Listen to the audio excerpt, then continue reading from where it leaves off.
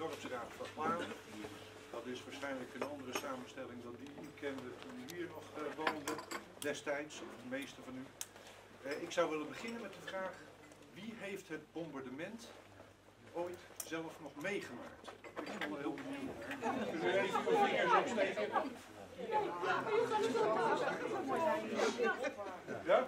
Nou, niet iedereen heeft het zelf nog meegemaakt, maar ik vind het toch wel heel bijzonder dat er ook wat mensen zijn die, eh, die het zelf allemaal nog eh, meegemaakt hebben. Ehm, ik wou eigenlijk beginnen met eh, waar ik zelf aan dacht van de week, eh, u te delen in, in één keer een spontane herinnering die bij mij opkwam toen ik dacht aan een bombardement. En dat was namelijk dat mijn meest indrukwekkende jeugdervaring is geweest dat toen ik 12 was, en dat was in 1965, eh, eh, de tram waar ik met mijn moeder in zat in Rotterdam in één keer stopte, omdat de burgemeester daar een krans ging leggen ter herdenking van 25 jaar geleden het bombardement van Rotterdam. Eh, overigens sprekend over Rotterdam en het bombardement van Rotterdam. Ik heb van de week eens even zitten rekenen.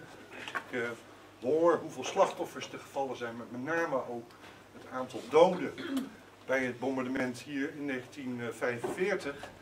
Eh, was het 45? Ja, het was 45. Eh, dan is dat procentueel gezien aanzienlijk meer dan bij het bombardement in Rotterdam op 14 mei 1940. We kennen allemaal het bombardement van Rotterdam, maar niemand in Nederland heeft ooit gehoord van het bombardement in Vlaanderen. Terwijl er meer mensen overleden zijn bij dat bombardement destijds hier in Vlaanderen, gezien de totale bevolking van Vlaanderen, dan dat er in Rotterdam gevallen zijn als je in acht neemt dat daar zo'n grote aantal mensen wonen. Dat is wel iets waar je even bij stil kan staan waar je over na kan denken. Eh, ook als het gaat om de impact die zoiets heeft op zo'n kleine gemeenschap als het dorp Vlaanderen. Eh, als, je daar, nou ervan uitgaat dat er misschien een stuk of drie, 400 mensen gewoond hebben in 1945, dan heeft iedereen waarschijnlijk de slachtoffers, de mensen die getroffen zijn, gekend. En eh, dat maakt dat in zo'n gemeenschap dat effect van zo'n bombardement natuurlijk veel groter is dan, eh, dan eh, je kunt voorstellen, zelfs maar. Ik denk dat de burgemeester daar misschien dadelijk ook nog iets over te zeggen heeft. Ehm, ik wil heel kort even de spelregels voor vanmiddag uitleggen. We gaan meteen, nadat ik klaar ben met praten, gaan we met z'n allen naar de hoek van de Grensweg en de Gronauwse straat. Daar is tegenwoordig, eh, staat daar een mooi, wordt zelfs in de pers al aangeduid als een monument, een, eh, een, eh, een, een, een, oude spoorbiels of een stootjuk wat we daar geplaatst hebben het afgelopen jaar. En dat is eigenlijk ook, laten we zeggen, het middelpunt, wat ik begrepen heb, van waar de bommen gevallen hebben. Want het is op drie plaatsen geweest en daar omtrent, in die omgeving, eh, was zo'n beetje het middelpunt. Daar gaan we bloemen leggen. Er zijn meerdere mensen die bloemen mee hebben genomen. Eh, dat is heel mooi dat we daar eh, inderdaad eh, zo'n grote gebaren zien van de mensen die betrokken zijn geweest bij dit geheel. Eh, daar gaan we bloemen leggen. Eh, misschien dat de burgemeester ook nog iets eh, daar zal zeggen. Eh, en dan kunnen we daarna kunnen daar even een moment stilte nemen. Dan kunnen we daarna hier terugkomen in het dorpshuis, waar u welkom bent voor nog een kopje koffie en een stukje eh, wat nog chicere cake dan die u al gehad heeft. Eh, ook ter afsluiting. En eh, ik hoop dat, eh, dat u eh, met z'n allen kunt genieten van wat we hier met z'n allen met de gemeente georganiseerd hebben. Dank u wel. Ja, ik, was er nooit geweest. Ik ben nooit geweest.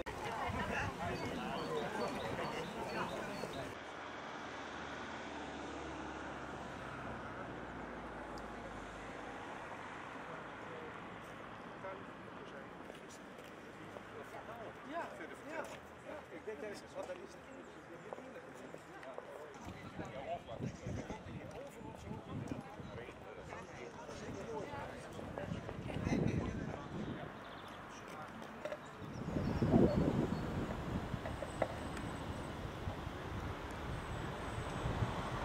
Thank you.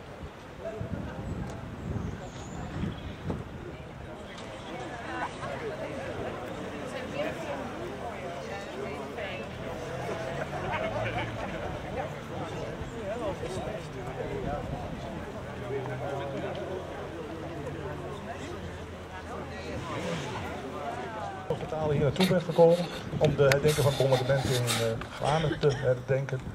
Ik zal even kort het programma toelichten. Uh, de burgemeester gaat zo een kort woordje bespreken. Daarna is er een minuut stilte, gevolgd door een doedelzakmuziek. En dan is nog een, woordje van de familie Koertshuis.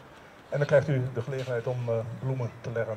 Zal ik eventjes, dat u één voor één op deze plek dan de bloemen kunt leggen. Ik geef nu het woord aan de burgemeester. Dankjewel Ben.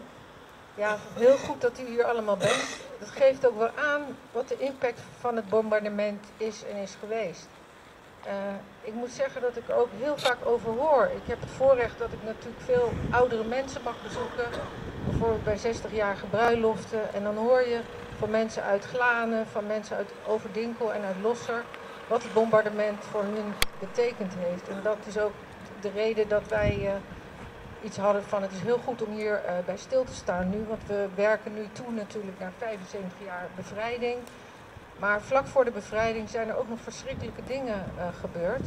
En mevrouw Bruins die geeft dat ook heel aangrijpend, vind ik, aan vandaag in de Tubantia, waarin ze zegt, ja, het was eigenlijk onwerkelijk die bevrijding als je net je familie bij het bombardement had verloren. En dat kan ik me heel goed uh, voorstellen.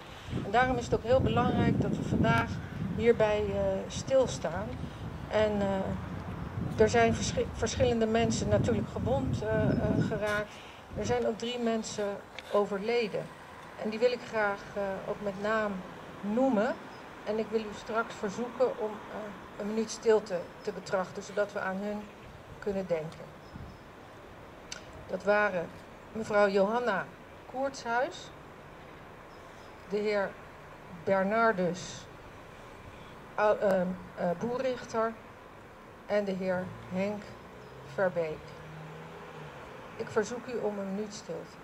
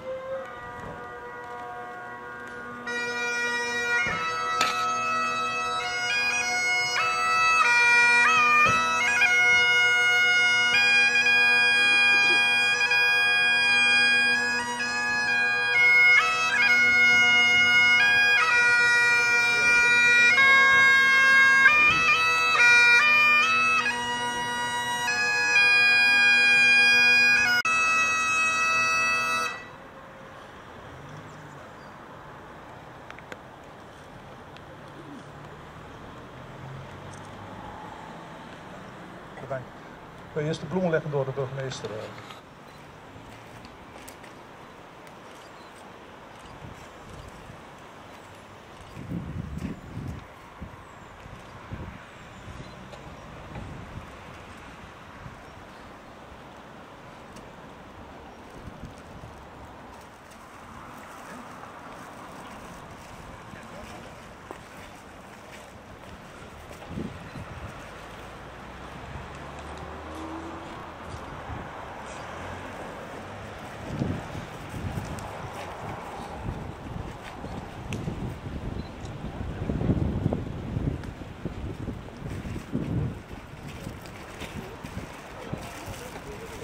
Als we even wachten met de bloemen, dan mevrouw Bruns wat heeft gezegd, dan kunnen we even leggen we eerst de koeltjes bloemen. Ja.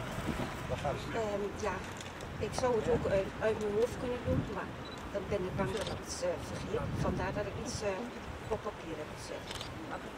Graag wil ik, graag wil ik ook namens mijn hele familie, mevrouw burgemeester Kroon en de mensen van de gemeente Lassen, bedanken voor de mooie woorden van deze bijzondere herdenking.